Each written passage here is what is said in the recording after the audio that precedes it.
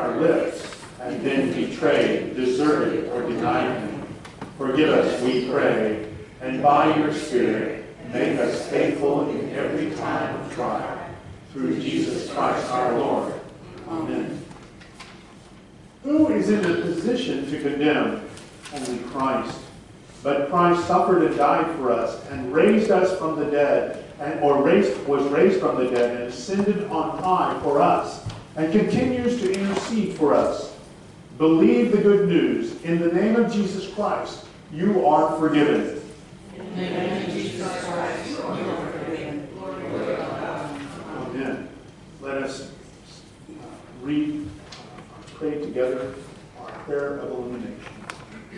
Gracious and holy God, give us wisdom to recognize you, intelligence to understand you, diligence to seek you, patience to wait for you, eyes to see you, a heart to meditate on you, a life to proclaim you, through the power of the Holy Spirit and the teachings of our Lord Christ.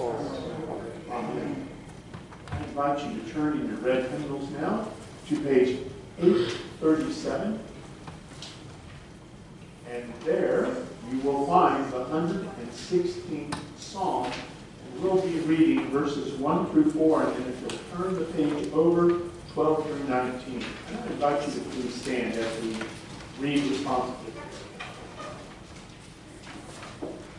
I love the Lord who has heard my voice and my supplications and has inclined his ear to me whenever I call. The snares of death encompassed me. The pangs of Sheol laid hold on me. I suffered distress and anguish. Then I called on the name of the Lord. O Lord, I beseech you, save my life. What shall I return to the Lord for all my benefits? I will lift up the cup of salvation and call on the name of the Lord. I will pay my vows to the Lord in the presence of all his people. Precious in the sight of the Lord is the death of his faithful ones. O Lord, I am your servant. I am your servant, the child of your handmaid. You have loosened my bonds. I will offer to you a sacrifice of thanksgiving and call on the name of the Lord. I will pay my vows to the Lord in the presence of all his people. In the course of the house of the Lord, in the midst of Jerusalem, praise the Lord. May God add his blessings to the reading of his of God's word. We now turn to our, uh, we sing our song of hope, number 616, Come Sinners to the Gospel of Peace. 616, when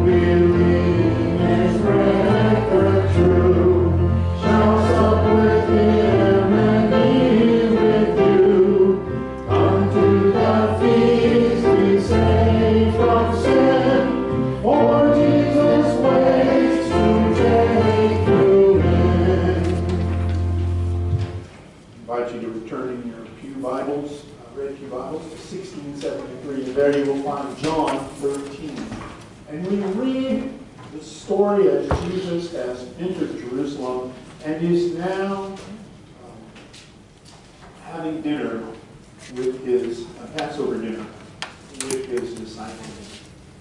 It was just before the Passover feast. Jesus knew that the time had come for him to leave this world and to go to the Father. Having loved his own who were in the world, he now showed them the full extent of his love. The evening meal was being served, and the devil had already prompted Judas Iscariot, son of Simon, to betray Jesus. Jesus knew that the Father had put all things under his power, and that he had come from God and was returning to God. So he got up from the meal, took off his outer clothing, wrapped a towel around his waist. After that, he poured water into a basin and began to wash his disciples' feet, drying them with the towel that was wrapped around him. He came to Simon Peter, who said to him, Lord, you are not going to wash my feet. Look, excuse me, Lord, you are going to wash my feet. And Jesus replied, Look, Jesus replied, You do not realize what you're asking, but later you will understand. No, Peter said, You shall never wash my feet. And Jesus answered, Unless I wash you, you have no part with me. Then, then Lord, Peter replied, Not just my feet, but my hands and my head as well. Jesus answered, The person who has had a bath needs only to wash his feet. His whole body is clean, and you are clean, though not every one of you. For he knew who was going to betray him, and that was why he said, Not everyone was clean. Then, when he had finished washing, uh, finished washing their feet, he put on his clothes and returned to the place. Do you, do you understand what I have done for you? He asked them. You call me teacher and Lord, and rightly so, for that is what I am. Now that I, your Lord and teacher, have washed your feet, you should also wash your feet of one another.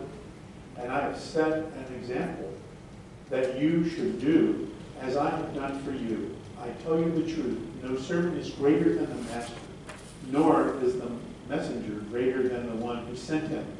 Now that you know these things, you will be blessed if you do them. May the Lord add his blessing to the reading of God's word, and let us all say, Amen. How about you be seated?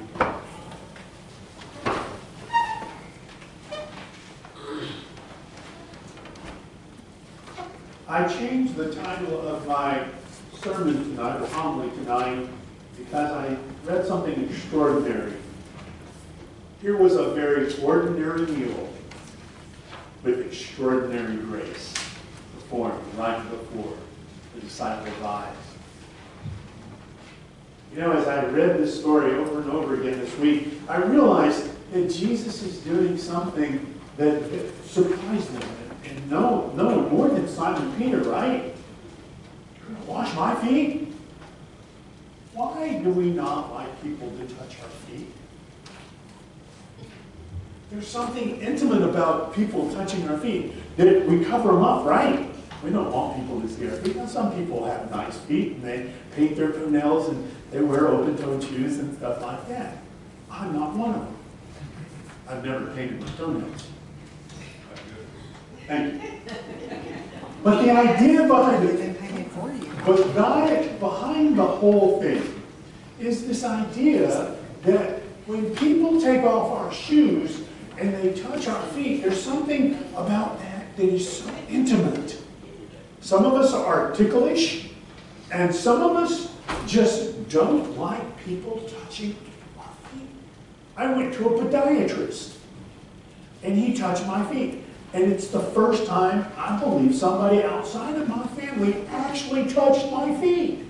And I didn't like it. I felt very uncomfortable the entire time I was in the chair.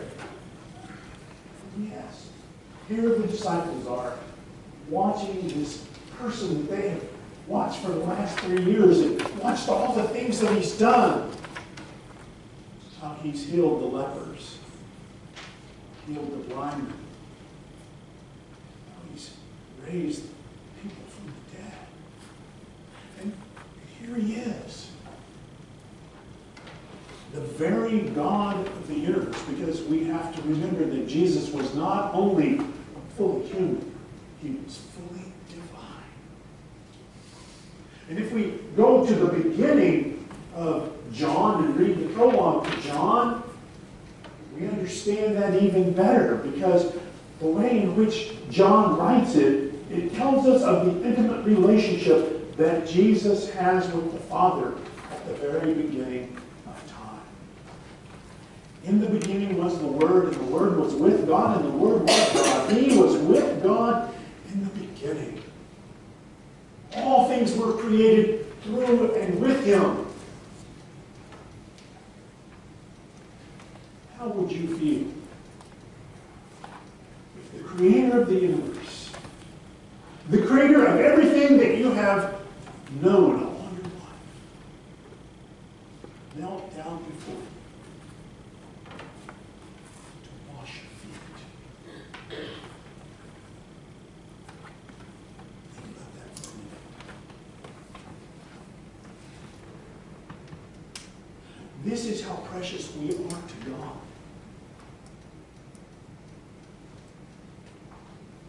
He would take on servant's role to wash our sin away. But he knew that it wasn't just enough to wash our feet. He knew what he had to do, and those plans had already been set in motion.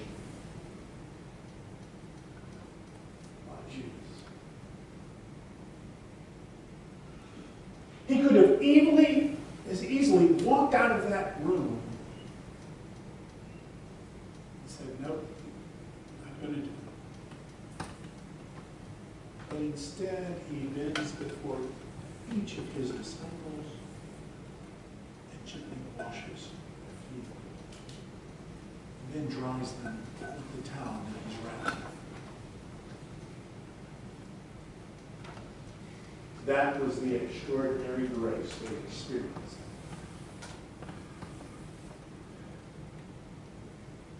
It was like no other time that they had been with him.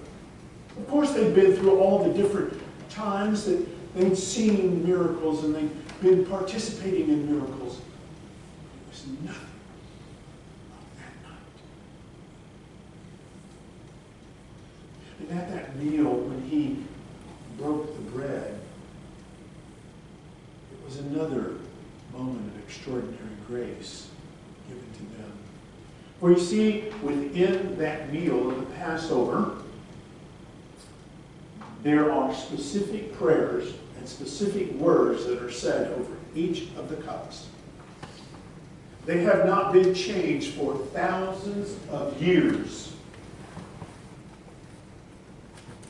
Children from the age of five have memorized these words in the prayers and they know them by heart. And the disciples too knew them by heart. Even though they may not have never gone to rabbinical school or any upper education, because they went to the temple day in, day out, they knew these prayers, especially during Passover.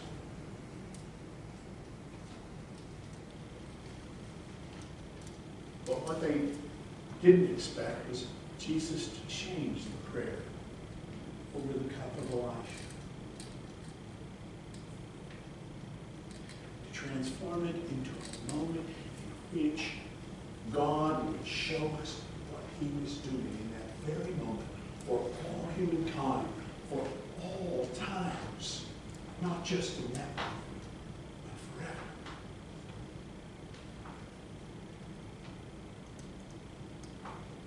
I can't imagine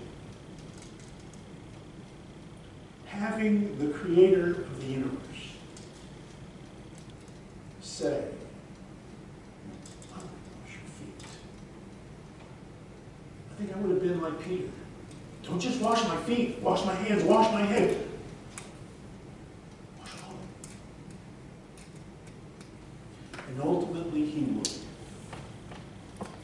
He would help us when he died for us. So tonight, we remember his words. They become living words for us because just as he changed the prayer in the Passover meal, so it now changes us to experience the same extraordinary grace that he shared with them at table and in that room that night. And that's my prayer for us in this Easter season, that we would have that change us.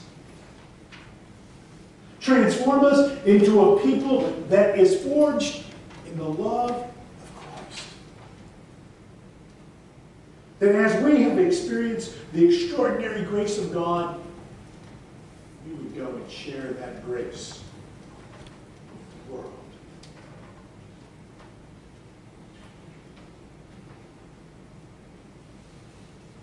That table that night, as he sat with his, his disciples,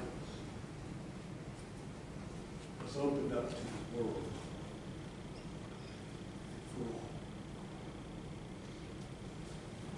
That's why I had you sing Come Sinners to the Gospel Feast. That was one of Charles Wesley's songs. It's such a powerful song. And I think that one of the reasons that I chose it tonight was for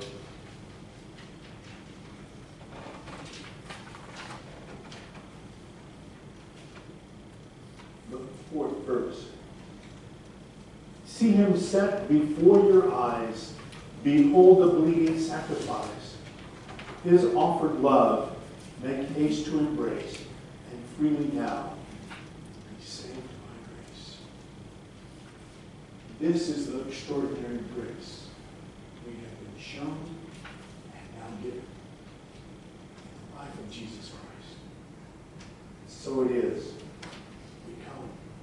We come to this table to remember not only who we are, who Christ is in our lives. So it is. I invite you to turn. Um, hold on.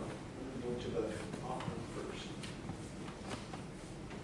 I want you to turn to page 13. Keep your finger there. What offerings do you have? Can you give back? There's nothing we can give back can give what we believe is our best. And that's what we can start tonight as we begin our journey to the table. Remember that as we come, we come as his children. Les, would you come and receive our offering?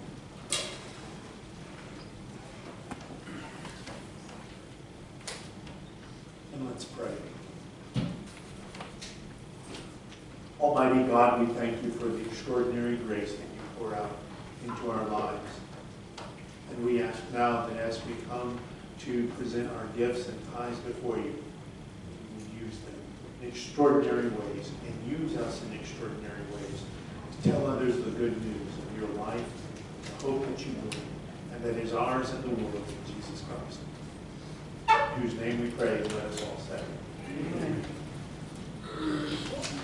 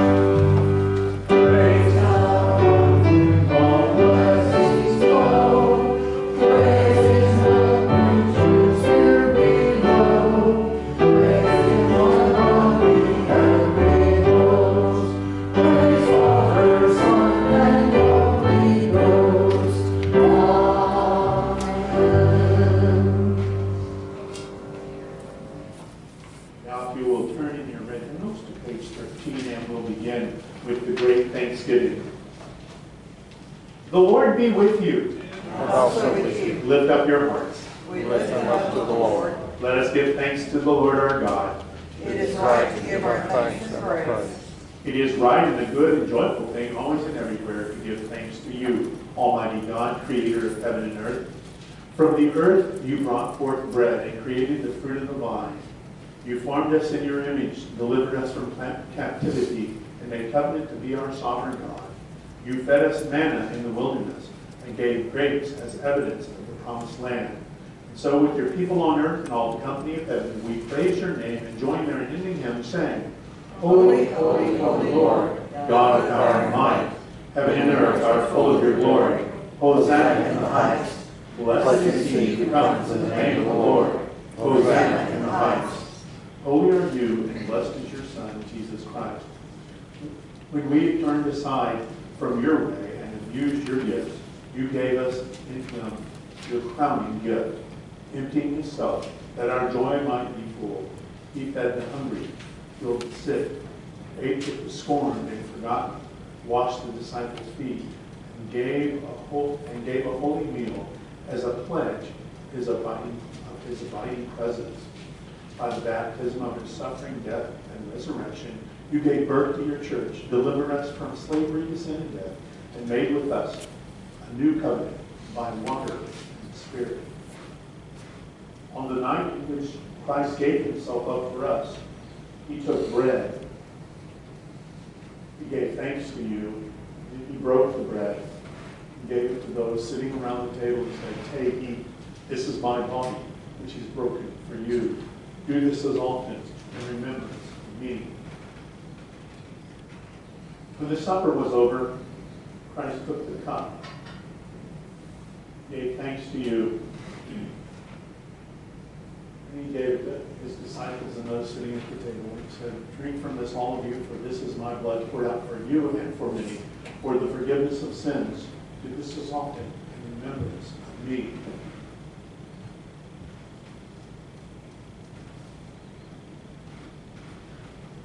And so, in remembrance of these, your mighty acts in Jesus Christ, we offer ourselves in praise and thanksgiving as a holy and living sacrifice in union with Christ's offerings for us, as we proclaim the mystery of faith. Christ is died, Christ is risen. Christ will come again. Pour out your Holy Spirit on us gathered here, on these gifts of bread and wine, make them be for us the body and the blood of Christ, that we may be for the world the body of Christ, redeemed by his blood. By your Spirit, make us one with Christ, one with each other, and one in ministry to all the world until Christ comes in final victory, and we feast in his heavenly kingdom. Through your Son, Jesus Christ, with the Holy Spirit and your holy church, all honor and glory is yours, Almighty God, now and forever. And let us all say, Amen. You may be seated. This is not Sam's table. This is not the United Methodist table. This is God's table. It is open to all people. It's because of his sacrifice that we all are given this enormous gift of grace that changes us, transforms us, not only into the likeness of Christ, but so that we can be strengthened by him in every case we face, in every trial, in every tribulation, so that we can be reminded that the very presence of Christ walks with us daily.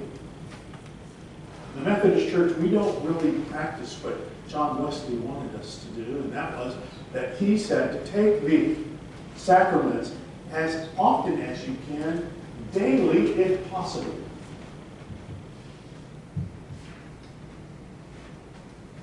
What if we began to do that? How would we change our world? Remembering that the presence of Christ goes with us. So tonight, you are invited to this table to take this moment to be still before God, our Creator, to find peace, to find to experience the extraordinary grace as the disciples did that night. These are the gifts of God for the people of God. Thanks be to God and let us all say. Amen. I'll invite the right, the, to your left and my right, I'll invite the right-hand side of the church to come first and then the left-hand side.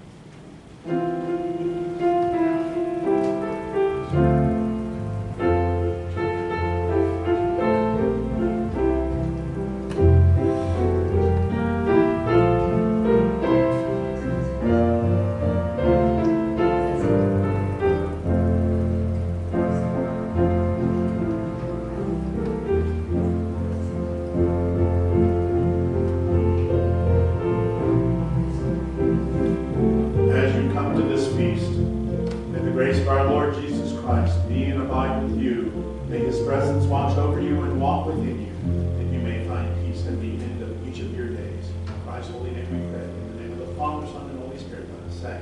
Amen.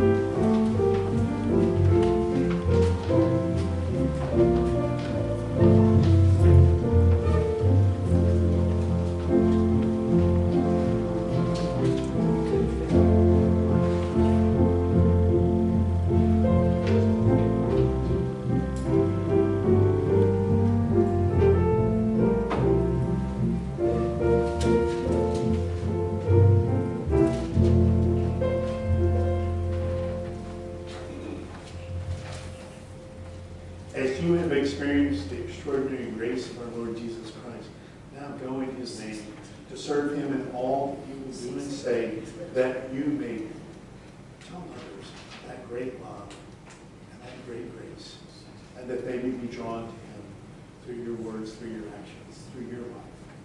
Now may the Lord, may the grace of our Lord Jesus Christ be and abide with you, now and forevermore. In the name of the Father, Son, and Holy Spirit, let us say, Amen. May